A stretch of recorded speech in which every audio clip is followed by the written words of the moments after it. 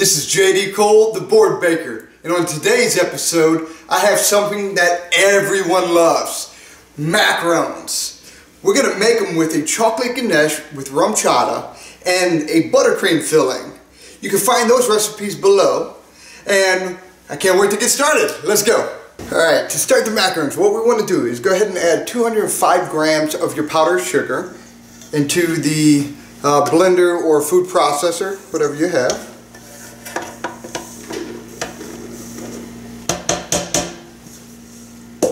And also add the 190 grams of your almond flour into the food processor or blender. Now what we're trying to do is eliminate uh, any kind of big chunks of almonds in there and just kind of give it a good mix before we sift it.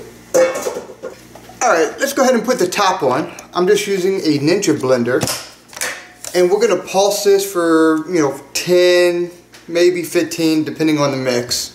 Uh, you don't want to over pulse it as you don't want the almonds to release their oils quite yet.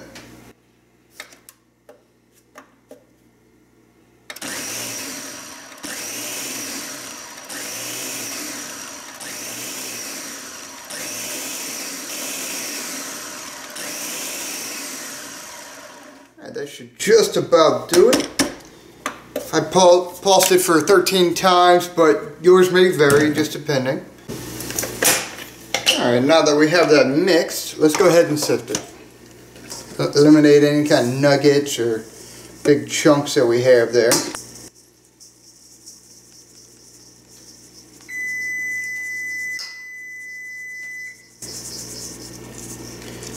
And that noise that you heard is I preheated my oven for 350 degrees. That's what these will cook at uh, for about 12 to 15 minutes.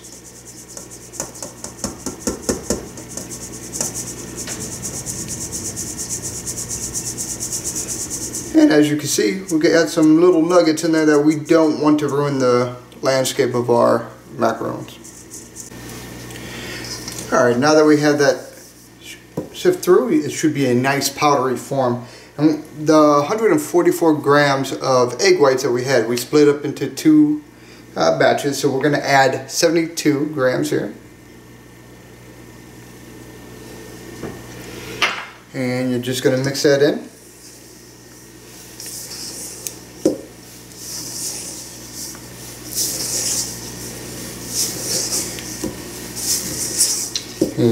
Want to make it a paste form. So just keep going.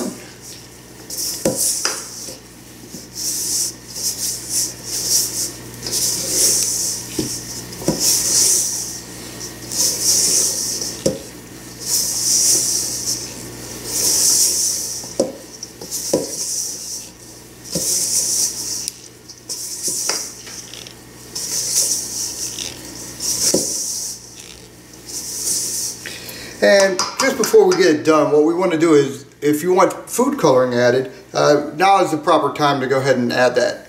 I'm going to choose teal as it's one of my friend's uh, birthday and this is one of her favorite colors. So we're just going to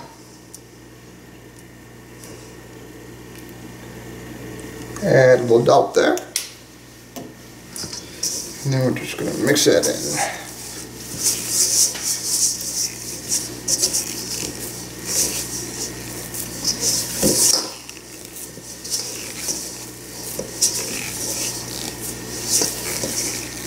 It's not quite the color you want to see, uh, it will start off dark. We will have more gradients added on later, so it'll brighten it up just a, a little bit there. But have fun with it. Choose any color you want. You know, birthdays, holidays. It doesn't matter. They all taste wonderful.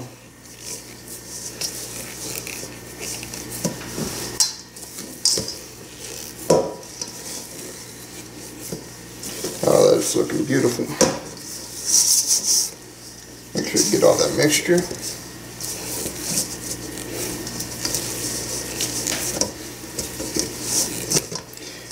Now this will give your arms a workout. It is quite an arm strenuous exercise. But it would all be worth it at the end. Promise.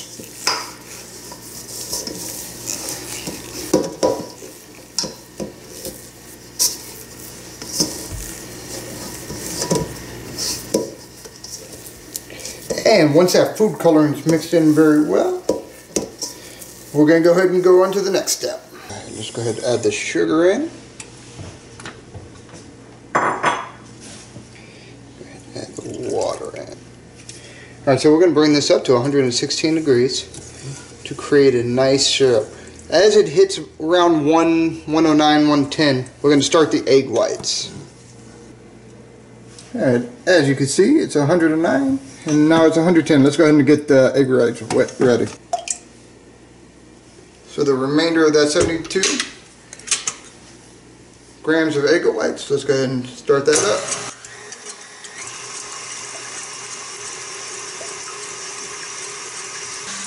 we're at 160 degrees. Let's go ahead and add the sugar in. Make sure to put it on the side so as it runs down, it doesn't get caught into the whisk.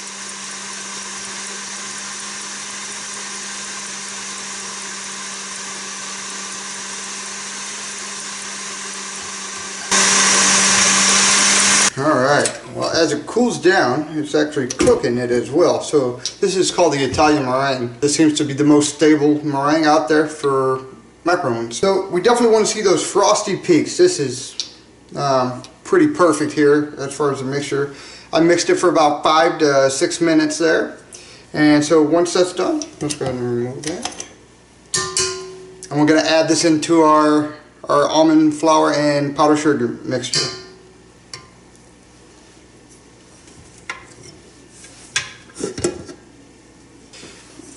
Alright, so we're going to add half of it in right now. And we're going to start folding it. And I saw this fold online and I think it's a pretty good fold here. So just go around the edges and just cut through the middle every once in a while and it'll start being able to fold in. Now what you want to be careful of is not knocking all that air that you just put into your meringue. And as you can see that color is starting to fade a little bit. It'll be more of a teal pastel. Pastel teal. Alright, let's go ahead and add the rest, rest of the mixture there. Same thing until it's mixed very well. So at the end, the consistency you want are ribbons that kind of stay there for, you know, three, four seconds before they fall back in. I'll show you what I mean once we get to that point. As you can see right now, it's not really quite ready. We're almost there though. So what you want to see is ribboning, not melting right back into the mix, kind of just sits there for a few seconds before it blends back in. And that should be good. We're going to go ahead and put this in a pipe bag and start piping. This is the tip I'm using. It's a circular tip. Uh, this is what we're going to be piping the macarons with.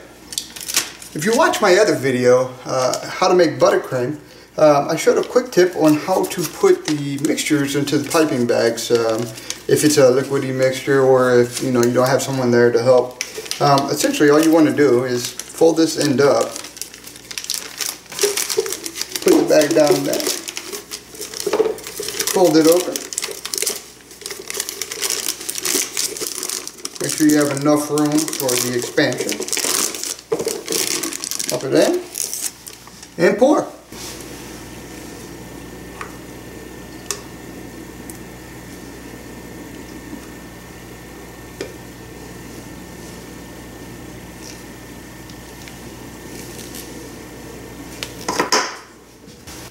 Alright, so I got these two silicone mats that uh, I actually picked up on Amazon. Uh, they have the templates for the macarons already there. Uh, but if you don't have that or um, you got a printer and some parchment paper, you can print out the templates online. And so we're just going to pipe these out.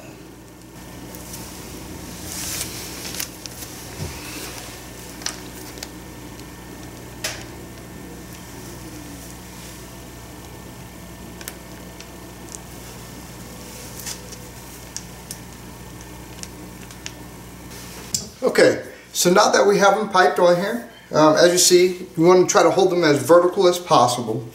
Uh, that way you have a nice mixture. Of course, you know, if you mess up, it happens. Um, Just you could clean it up at the end or you could just let it cook like that. Now, before these start to get the skin on them, what we want is to go ahead and pop the air bubbles. So just hit it on the counter, uh, you know, three, four times.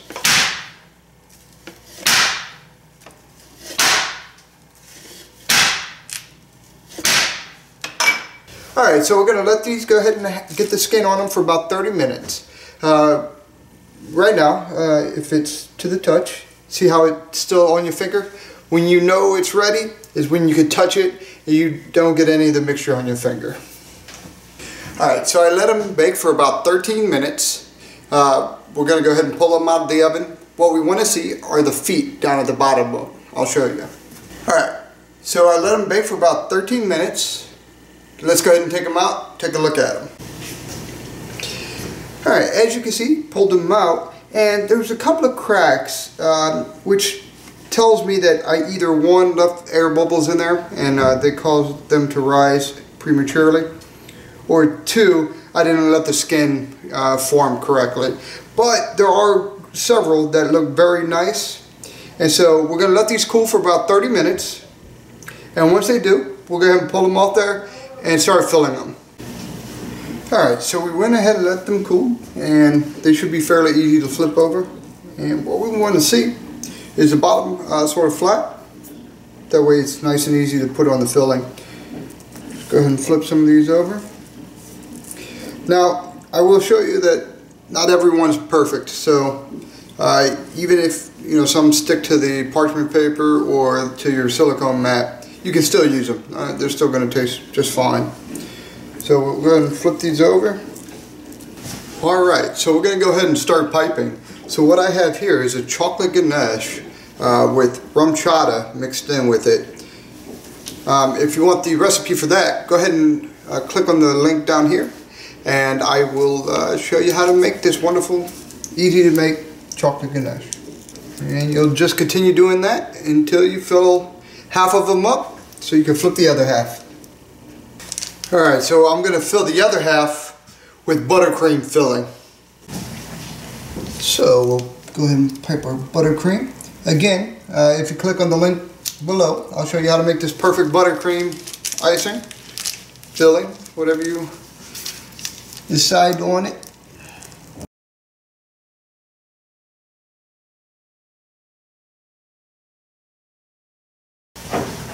All right, now that we got those filled, uh, you just want to find like size sizes, just in case, you know, you didn't, like, if you're like me, they're not all perfect, so we'll just go ahead and pop those on. And you will just do that until you're finished.